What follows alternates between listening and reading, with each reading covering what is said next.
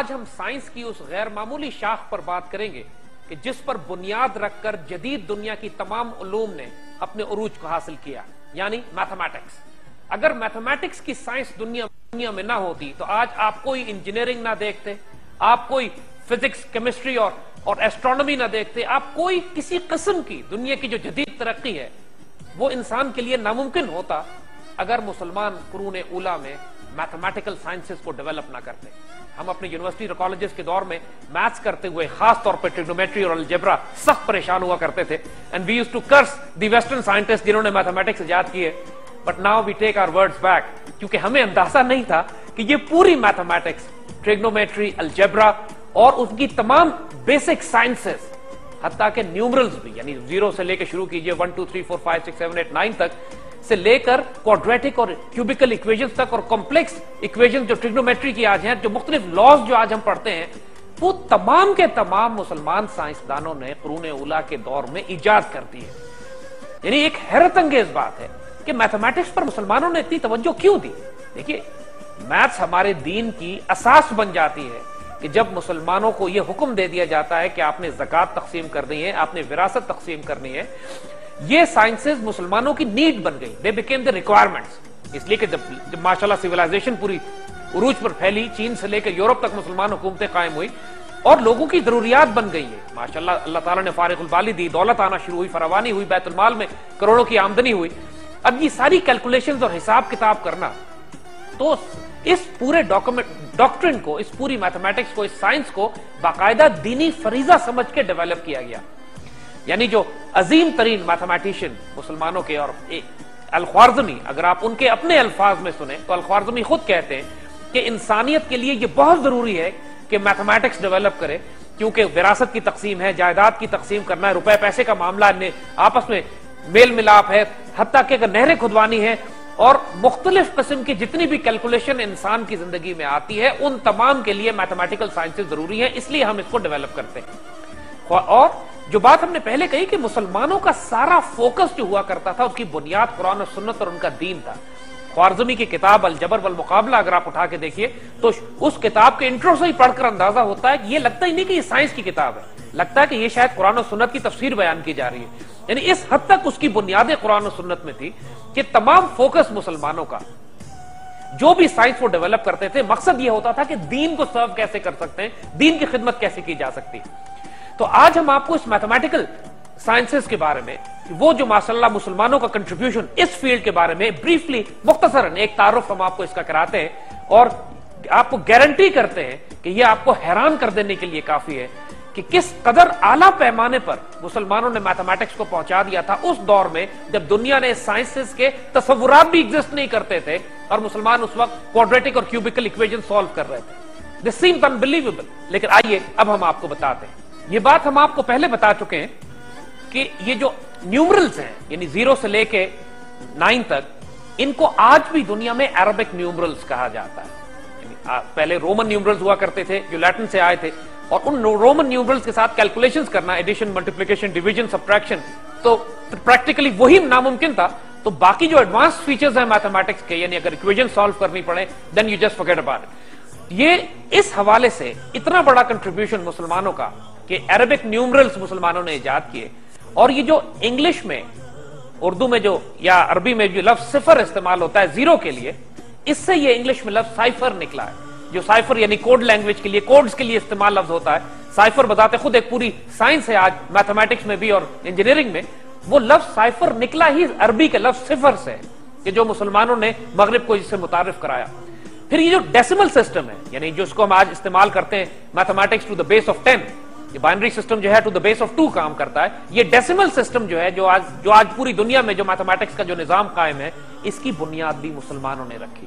اور اس کے ساتھ ساتھ یہ جو میتھمیٹیکل اکویژنس کو سالو کرنے کے لیے جو ویریبل کا سمبلز ہیں یعنی ایکس یا وائی جو ویریبل استعمال ہوتے ہیں میتھمیٹیکل اکویژن میں سب سے پہلے ویریبلس کو بھی مسلمانوں نے استعمال کرنا شروع کیا. جیسے ہم آگے آپ کو بتائیں گے۔ ایک حیرت انگیز بات جو تمام مسلمان سائنسدانوں کے بارے میں آپ نوٹ کریں گے اور جو آج کی اگر ہم اسپیشلائزیشن کے دور میں اگر یہ دیکھیں، کیونکہ آج جو شخص انجینئر ہوتا ہے تو وہ صرف انجینئرنگ کے شعبوں میں کوئی میڈیکل ڈاکٹر ہے تو اس طرف، کوئی اسٹرانومر ہے تو صرف اس سائڈ پہ، یا کوئی فلاسفر ہے تو صرف فلسفے کی بات کرتا ہے۔ مگر جو حیران کن چیز ہم کو ہمیشہ قرون اولا کے مسلمان سائنسدانوں میں ملتی ہے کہ وہ حرفن مولا ہوا کرتے تھے۔ ایک ایک شخص ایسٹرونمر بھی ہے میتھمیٹیشین بھی ہے کیمسٹ بھی ہے بایولوجی میں بھی ایکسپرٹ ہے۔ ساتھ ساتھ وہ قرآن و سنت بھی ایک علوم، پہ ایک گہری نظر رکھتا ہے اور وہ ایک فلسفی بھی ہے۔ یہ ایک عجیب و غریب کمبینیشن ہوتا تھا، اسی لیے جب ہم مختلف سائنسز کا ذکر کر رہے ہیں، مختلف برانچز آف نالج کا ذکر کریں گے، تو ان لوگوں کے نام بار بار سامنے آئیں گے۔ ان کو ہم ایسٹرونومی میں بھی ذکر کر چکے ہیں جیوگرافی میں بھی ان کا نام آئے گا میتھمیٹکس اور کیمسٹری میں بھی، اور ساتھ فلسفی اور سوشل سائنسز کی جب ہم بات کریں گے، تو انہی ناموں میں سے لوگ آپ کو ایسے ملیں گے جنہوں نے موٹی موٹی کتابیں لکھ ڈالی، جن کو آج پڑھنے کے لیے زندگی چاہیے، اور ان اللہ کے بندوں نے وہ کتابیں لکھ ڈالی اپنی زندگی میں، ہر موضوع پہ جب قلم اٹھایا، پھر قلم ہی توڑ کے رکھ دیا کہ اس سے بہتر کتاب آج تک لکھی نہیں جا سکی۔ اور کجا یہ کہ یہ قرون اولا کی بات ہم کر رہے ہیں، کم از کم ہر کتاب ہزار سال پہلے کی لکھی ہوئی۔ تو بڑے بڑے مسلمان میتھمیٹیشنز کا جب ہم نام لیتے ہیں، تو اس میں کچھ نام جو ہمارے سامنے آتے ہیں، وہ الخوارزمی، بذات خود، جن کا ہم پہلے بہت تعارف کرا چکے ہیں۔ الکندی، بہت بڑا نام۔ التوسی ایسٹرونمر بھی اور ماشاء بہت بڑے میتھمیٹیشین البتانی اور عمر خیام۔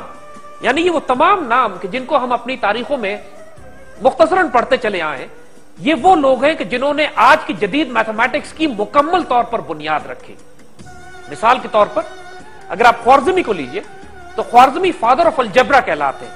یعنی میتھمیٹیشین بھی ہیں اسٹرونومر بھی ہیں جیوگرافر بھی ہیں۔ یعنی سات سو اسی کی پیدائش ہے ان کی، اور one of the greatest scientist of the world ان کی کتاب، اگر ان کی سب سے مشہور کتاب الجبر والمقابلہ کا اگر آپ اٹھا کے دیکھیے، تو اس کتاب میں انہوں نے پریکٹیکلی پہلی مرتبہ الجبرا کو شروع کیا۔ دا ورڈ الجبرا بذات خود نکلا ہی الجبر والمقابلہ سے۔ جب جبر کی بات کرتے ہیں تو that is the X variable جو کہ ایکویشن کے لیفٹ سائڈ پہ ہے جس کو معلوم کرنا ہے اور اس کے مقابل میں اس کے سامنے جو اکویژن ہے جس کو سالو کرنا ہے، اس سے یہ نام نکلا ہے الجبر والمقابلہ۔ اور یہ وہ کتاب تھی کہ جو اگر آپ اس کا اوریجنل مینسکرپٹ آج آپ دیکھیے اوریجنل مینسکرپٹ بھی اویلیبل ہے خوارزمی کی ان کتابوں کے، اور انسان حیران رہ جاتا ہے کہ اس میں جہاں پیور ہارڈ کور میتھمیٹکس اور جو اور الجبرا کی وہ بات کر رہے ہیں، ساتھ ساتھ اس میں اللہ تعالیٰ کا اس طرح ذکر کیا جا رہا ہے۔ قرآن و سنت کے ایسے حوالے دیے جا رہے ہیں۔ حضور صلی اللہ علیہ وسلم کا ایسا تعارف کرایا جا رہا ہے کہ انسان یعنی ان اس زمانے کی مسلمان سائنسدانوں کی سوچ اور فکر سمجھ میں آ جاتی ہے کہ ان کا سارا فوکس جو کچھ وہ کر رہے تھے، اس کی گراؤنڈنگ اس کی بنیاد قرآن و سنت میں تھی۔ یہ سیکولر سائنٹسٹ نہیں تھے۔ یہ وہ سائنٹسٹ تھے جو اپنے اللہ اس کے رسول سے تعلق رکھتے تھے اور فخر محسوس کرتے تھے اس بات میں کہ جدید دنیا کے تقاضوں کو وہ استعمال کریں اللہ کے دین کو فروغ دینے کے لیے۔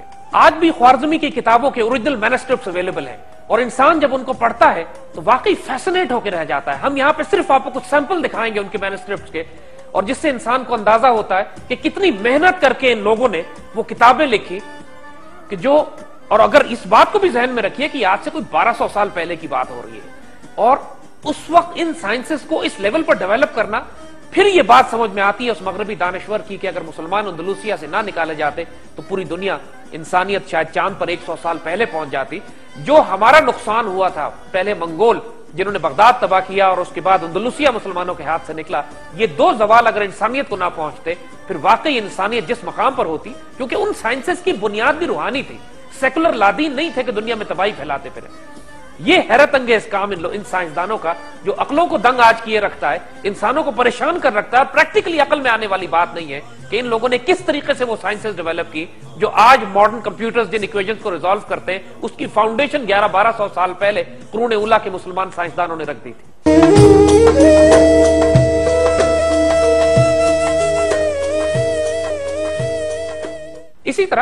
طرح الخوارزمی نے ایک حیرت انگیز کانسیپٹ جو اس وقت دے دیا تھا، وہ سکوائر تو سکوائر روٹس کا تھا۔ آج ہم میتھمیٹیکل اکویشن میں سکوائر نکالتے ہیں سکوائر روٹ نکالتے ہیں۔ الخوارزمی کا اوریجنل مینسکرپٹ اٹھا کے دیکھی تو سکوائر اور سکوائر روٹ کا پوری ڈیفینیشن بنی ہوئی ہے اس کے اندر۔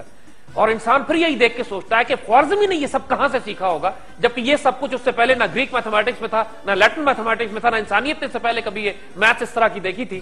تو یہ اللہ کے بندے یہ نالج کہاں سے لے کر آتے اسی طرح عربک نیومرلز کی بات ہے، جو بات ہم نے پہلے بتائی کہ زیرو سے لے کے نو تک one two three four five six seven eight nine جو آج بھی دنیا میں مروج ہے ڈکشنری اٹھا کے دیکھ لیجیے۔ ان نیومرلز کو عربک نیومرلز کہا جاتا ہے۔ ایکنالجمنٹ ہے اس بات کی کہ یہ سارے علوم دنیا نے مسلمانوں سے سیکھے ویسے حقیقت یہ ہے کہ نیومرلز کو عربک نیومرلز کے بجائے مسلم نیومرلز کہنا چاہیے تھا۔ یہ بھی کی کریڈٹ اسلام اور مسلمانوں کو دینے کے بجائے عربوں کو دے کے تعصب قائم کرنا چاہتے ہیں۔ ورنہ جو آج بھی اگر نیومرلز کو جو انگریزی میں استعمال ہوتے ہیں اور جس طرح وہ عربی میں لکھے جاتے ہیں، واحد اسنین سلاسہ اربع خمسہ ستہ سبہ سمان یا تسعہ صفر، اور اگر آپ ان کو اٹھا کے دیکھیے تو وہ ایگزیکٹلی بالکل اسی طرح، جس طرح عربک میں لکھے جاتے ہیں، انگریزی نے اس کو پریکٹیکلی اسی طریقے سے کاپی کیا ہے۔ یہ عربک نیومرلز نہیں، مسلم نیومرلز ہیں، لیکن مغرب کا تعصب یہاں نظر آتا ہے کہ ان کو عربک نیومرلز کہہ کے کریڈٹ مسلمانوں کو نہیں دینا چاہتے۔ اسی طرح آٹھ سو عیسوی میں پیدا ہونے والے غیر معمولی سائنسدان کندی اگر آپ ان کے ایٹریبیوٹس دیکھنا شروع کریں تو پھر انسان عقل حیران رہ جاتی ہے کہ ہرفن مولا ایک سائنسدان جو دنیا کی کوئی سائنس ایسی نہیں ہے جس میں اسپیشلائز کر کے عروج پہ نہ پہنچ گئے mathematician Islamic philosopher astrologer astronomer physicist chemist کون سی شاخ ایسی ہے اس زمانے کی نالج کی یا آج کی نالج کی کہ جس میں کندی عروج پہ نہ پہنچے ہو انسان حیران یہ ہوتا تھا کہ اسلامک مدرسے اس طرح کے کس زمانے میں تھے؟ ہمارے ایجوکیشن انسٹیٹیوشنز کیا تھے کہ جہاں پہ یہ سائنسدان تمام علوم پر علم حاصل کرتے تھے اور عروج پر ایسے پہنچتے تھے کہ ان سے بہتر انسان اس دور میں پیدا کرنا ممکن نہیں ہوتا تھا۔ تخصیص یعنی اسپیشلائزیشن کا تو کانسیپٹ ہی نہیں ہے۔ ہر فیلڈ میں جا رہے ہیں اسپیشلائز کر رہے ہیں۔ اور یہ تصور کے jack of all trade master of none یہ مسلمانوں پر نہیں تھا، یہ ہرفن مولا تھے۔ جس ٹریڈ میں جاتے تھے، اس میں ایک ایسی نئی ڈائمنشن کریٹ کرتے تھے کہ آج بھی دنیا ان کی کتابوں سے استفادہ کرتی۔ الکندی نے چار والیوم لکھے نمبر سسٹم پہ یعنی ان کی بڑی مشہور کتاب ہے، کتاب فی استعمال العدد الہندی یعنی انڈین نیومرلز کے اوپر ان کو استعمال کرنے کی کتاب۔ اور اس نے آج کی ماڈرن میتھمیٹکس کی بنیاد رکھی۔ ان کی چار والیوم پر یہ کتاب انہوں نے میتھمیٹکس پر لکھی، جس پر انہوں نے انڈین نیومرلز بھی لیے، جس کو انہوں نے آپس میں استعمال کیا، اس ماڈرن میتھمیٹکس کے پرنسپلز بتائے۔ یعنی انسان سوچتا ہے کہ یہ چار والیوم اس دور میں میتھمیٹکس پہ لکھنا، وہ بھی صرف ایک فیلڈ پہ۔ جبکہ جب کندی کے ایٹریبیوٹس آپ کو بتائیں کہ بیس اور فیلڈز ایسے ہیں کہ جہاں پہ وہ روچ پر پہنچے اور انہوں نے کتابیں لکھ ڈالی اس کے اوپر، جو آج انسان زندگی میں پڑھ نہیں سکتا۔ اور یہ اللہ کے بندے لکھ ڈالتے تھے۔ اور اللہ ہی بہتر جانتا ہے کہ وہ لوم یہ لے کر کہاں سے آتے تھے۔ اسی طرح البتانی جو 868 اے ڈی میں پیدا ہوئے اگین میتھمیٹیشین ایسٹرونومر ایسٹرولوجر دنیا جہان کے میتھمیٹیکل اور ایسٹرونومیکل سائنسز میں عروج پر پہنچے۔ اور البتانی نے بھی جو کنٹریبیوشن کی ہے، وہ بھی حیرت انگیز ہے آج کی میتھمیٹکس کو ڈیولپ کرنے میں۔ یعنی البتانی نے ٹریگنومیٹرک ریشوز ایجاد کی یعنی آج کے وقت اگر آپ یہ دیکھیے کہ وہ جو آج ٹریگنومیٹری میں ریشو استعمال کرتے ہیں، کہ length and leg of triangle اس میں ہائیپوٹنیوز کے ساتھ اس کا ریلیشن شپ کیا ہے سائن کے ساتھ ریلیشن شپ کیا ہے، اور یہ تمام جو رائٹ اینگل ٹرائنگل کو سالو کرنے کے جو ریشوز اور اکویژنز ہیں، وہ تمام کی تمام البتانی کی ایجاد کرتا ہے۔ آج پوری ٹیکنومیٹری بیس کرتی ہے ٹرائنگلز کے ان لاز کے اوپر، ان right angle triangle isosceles triangle میں، اور مختلف قسم کے فگرز کے اوپر جو جیومیٹری میں ہم استعمال کرتے ہیں، اور ان کے آپس میں ریشوز کیا ہیں اکویژنز کیا ہیں کیلکولیشنز کیا ہیں۔ یہ ساری کیلکولیشن بتانی آج تقریباً بارہ سو سال پہلے کیلکولیٹ کر چکے تھے۔ اور جو فاؤنڈیشن بنتی ہے ماڈرن ٹریگنومیٹری کی ٹریگنومیٹرک لاز کی، جو آج ہماری جدید یونیورسٹیز میں پڑھائے جاتے ہیں، یہ سارے بتانی کے لکھے ہوئے ہیں۔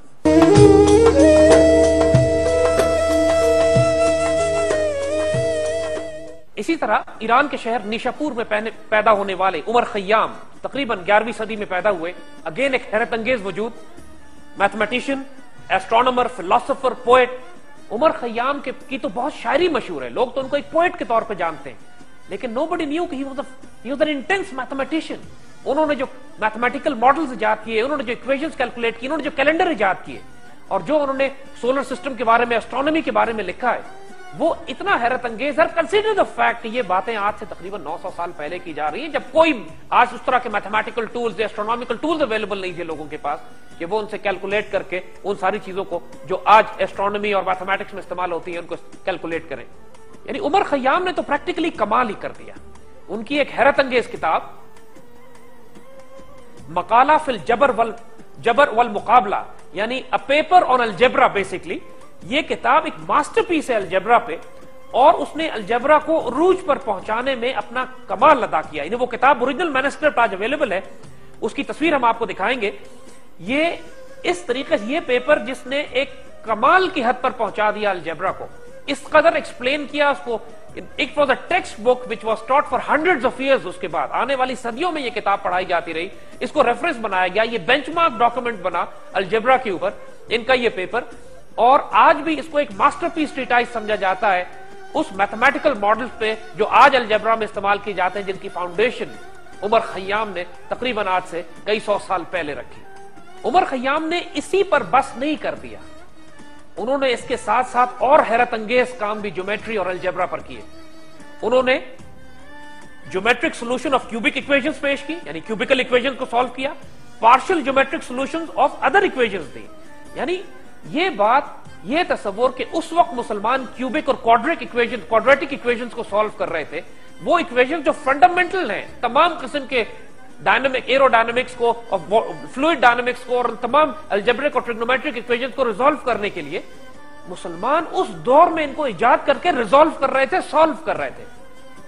اور اس سے پہلے کوئی ماڈل مسلمانوں کے پاس نہیں تھا کہ جس کو دیکھ کر وہ اس میتھمیٹکس کو ایجاد کرتے۔ آج آپ کوئی بھی میتھمیٹکس کی کتاب اٹھا کے دیکھیے، اس میں یہ ساری اکویشن جو لکھی ہوئی ہے یہ ساری کی ساری آپ کو عمر خیام کو یا خوارزمی کو یا بطانی کی یا اس یا دوسرے کندی کی کتابوں میں آپ کو لکھی ہوئی ملیں گی۔ اور وہ اوریجنل مینسکرپٹس آج بھی یورپ کی لائبریریوں میں بلا وجہ نہیں ہے کہ اقبال ماتم کرتے ہیں اس بات کا کہ کتابیں اپنے آبا کی دیکھیں ان کو یورپ میں تو ہوتا ہے دل سی پارا۔ ہمارا دل کٹ جاتا ہے جب ہمارے بزرگوں کی کتابیں ہمیں یورپین لائبریریز میں رکھی ہوئی ملتی ہے اور وہ پھر خیانت یہ کرتے ہیں کہ ان میں سے مینسکرپٹ نکال لیں۔ پورا ریفرمیشن رینسا انڈسٹریل پیج، ان کا وقت، ان کا پیریڈ ہی وہ گزرا ہے کہ مسلمانوں کی کتاب سے میٹر نکال کر لیٹر میں ٹرانسلیٹ کر کے اپنے نام سے آگے چلا کر پھر آج کی ٹیکسٹ بک میں جو لکھا جاتا ہے کہ یہ سارا کچھ مغربی سائنسدانوں نے یاد کیا ہمارے بچوں کو ذہنی طور پر احساس کمتری میں مبتلا کرنے کے لیے۔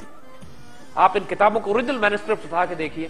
آپ فیسنیٹ ہو جائیں گے کہ کس طرح ہمارے ان بڑوں نے، ہمارے ان بزرگوں نے اپنے زندگیوں میں زندگیاں خرچ کر دیں ان ماڈرن فزیکل سائنسز کو ڈیولپ کرتے ہوئے۔ تصور یہ تصور یہ کیا جاتا ہے کہ مسلمانوں نے صرف فلسافیکل اور آئیڈیولوجیکل سائنسز پہ کام کیا، قرآن و حدیث پہ، تفسیر پہ۔ لیکن ہمارے جو finest of the finest geniuses تھے، بعد میں جو آنے والے پیریڈ میں جو قرون اولا کے دور میں آئے ان لوگوں نے جتنا کام فزیکل سائنسز پہ میتھمیٹکس انجینئرنگ اور کیمسٹری پہ کیا ہے وہ اتنا گراؤنڈ بریکنگ ہے پریکٹیکلی بریتھ ٹیکنگ انسان دیکھ کے فیسنیٹ ہو جاتا ہے کہ سبحان اللہ ان بزرگوں کو کیا تحفہ اللہ نے دیا ہوا تھا کہ پریکٹیکلی میجیکل ڈسکوریز کر رہے تھے وہ، اب جس فیلڈ میں ہاتھ ڈالتے تھے پریکٹیکلی جادوئی طور پر اس میں ایسے ایسے خزانے نکالتے تھے کہ آج بھی انسان حیران پریشان بیٹھا ہے کہ یہ بزرگ کیسے کر گئے انسانوں اسی طرح ایک اور حیرت انگیز نام، توسی کا، ان کا نام ہم پہلے بھی ذکر کر چکے ہیں جو ایسٹرونومی کے حوالے سے، مگر ساتھ ساتھ ایک فیسنیٹنگ میتھمیٹیشین بھی ہیں۔ اور میتھمیٹیشین فلاسفر فزسسٹ کیمسٹ یعنی وہی بات کہ جس موضوع پہ ہی انہوں نے قلم اٹھایا، قلم توڑ کے رکھ دیا۔ ایران کے سٹیمپ کے اوپر ان کی تصویر بھی بنی ہوئی ہے ان کو نیشنل ہیرو کے طور پر ایران میں جگہ دی جاتی تو اسی کا ایک حیرت انگیز کارنامہ یہ ہے کہ انہوں نے ایک بہت موٹا ڈاکومنٹ لکھا کوڈریلیٹرل کے اوپر۔ ایک ایک فزیکل ایک ٹریگنومیٹرک شیپ ہے جومیٹرک شیپ ہے۔ اور وہ اتنی حیرت انگیز کتاب انہوں نے اس کے اوپر لکھی کہ وہ ان کی کتاب اس نے پلین اور سفریکل ٹریگنومیٹری میں یعنی پلین کے اور سفیریکل ٹریگنومیٹری کو ریزالو کرنے میں اس نے کمال کر دیا فاؤنڈیشن سیٹ کر دی، بنیادیں بنا دی، ان کی اس کتاب نے۔ اور آج بھی اس کتاب کے اوریجنل مینسکرپٹس اویلیبل ہیں، جہاں پہ آپ یہ دیکھ سکتے ہیں کہ واقعی یہ کام توسی نے اپنی اس کتاب میں کیا ہوا ہے۔ اور وہی پھر لاز قوانین جو عربی میں انہوں نے لکھے ہوئے آئندہ آنے والی صدیوں میں لیٹن میں ٹرانسلیٹ ہو کے پھر آج انگلش میں ہمارے پاس پہنچتے ہیں۔ اوریجنل ورک اس کے اوپر، ان تمام سائنسز کے اوپر، تمام کا تمام کام توسی کا ہے۔ توسی کے حوالے سے تو ایک مغربی ڈکشنری نے اکنالج کیا ہے اس بات کو اوپنلی کہ کہ ٹریگنومیٹری میں التوسی کے کام اور ان کی خدمات کا اعتراف کرتے ہوئے کہا گیا ہے کہ توسی کی بے پناہ تحقیق کے بعد ٹریگنومیٹری ریاضی میں ایک ضمنی شاخ یعنی سب برانچ کے طور پر سامنے آئی۔ یعنی پریکٹیکلی توسی نے جو کام ٹریگنومیٹری کے حوالے سے کیا ہے میتھمیٹکس میں پھر اس کے اس کے بعد اس کو ایک اسپیشلائزڈ برانچ کے طور پر اکنالج اور ایکسپٹ کیا گیا اور پھر اس کو ڈیولپ کیا گیا as a sub branch of mathematics یہ ایک مغرب کی سائنٹیفک ڈکشنری توسی کے کام کے حوالے سے ان کو اکنالجمنٹ دے رہی ہے. عجیب بات ہے، افسوس کی بات ہے کہ مسلمان دنیا اپنے ان سائنسدانوں کے ناموں کو نہیں جانتی. ہمارے بچے اور جنریشن ہمارے ان سائنسدانوں سے قرون اولا کے ان بزرگوں سے ناواقف ہیں، لیکن مغرب کے جو کچھ لوگ کہ جو اکنالج کرتے ہیں، جن میں کچھ اچھائی باقی رہ گئی ہے اور جنہوں نے عقلی اور علمی خیانت نہیں کی، وہ اکنالج کرتے ہیں اس بات کو کہ مغرب کی تمام تر میراث جو آج نظر آتی ہے اور جو ہم پر یہ کہہ کر مسلط کی جاتی ہے کہ مسلمانوں نے تو انسانیت تو کچھ بھی نہیں دیا سوائے جنگوں اور قتل و غارت کے۔ ناؤز باللہ، وہ اس پہلو کو بتاتے ہوئے شرماتے ہیں یا منافق ہیں اور خائن ہیں کہ مسلمان بچوں کو کہیں یہ کانفیڈنس اور اعتماد پیدا نہ ہو جائے کہ ہمارے بزرگوں نے جو کام کیے تھے جو ہمارے بزرگوں نے کامیابیاں حاصل کی تھی، جو ہمارے بزرگوں نے روشنی کے مینار قائم کر کے دنیا کو دیے تھے، آج اگر دنیا قائم ہے تو اس کی بنیاد انہیں فاؤنڈیشن کے اوپر ہے۔ اقبال بلا وجہ نہیں کہتے تھے کہ آج کی نوجوان نسل سے کہ اگر میں تم کو تمہارے بزرگوں کے واقعات سنانے شروع کروں تو تمہاری تخیل سے زیادہ یہ بات تمہاری تھاٹ اور تمہارے وائلڈسٹ امیجنیشن سے باہر ہے یہ بات۔ تم یقین نہیں کرو گے کہ تمہارے بزرگوں نے کتنے بڑے بڑے اس وقت کہ جب وہ امامہ پہنتے تھے جب وہ داڑھی رکھتے تھے جب وہ اپنی ویلیوز پر عمل کرتے تھے جب وہ قرآن و سنت پر بیس کرتے تھے۔ کوئی انہوں نے اپنی سائنس اور ٹیکنالوجی کو حاصل کرنے کے لیے اپنی اقدار نہیں چھوڑ دی تھی اپنے دین اور اپنی ویلیوز کو ترک نہیں کر دیا تھا۔ بلکہ اپنی اپنے دین، اپنی قرآن، اپنی سنت کو ہاتھ میں لے کر، مضبوطی سے پکڑ کر، اس کے بعد ماڈرن فزیکل سائنسز کی بنیاد رکھی اور وہ کچھ کیا اس کے بعد کہ جو دنیا سمجھنے سے قاصر ہے کہ اس دور میں ہمارے یہ بزرگ کیسے کر کے چلے گا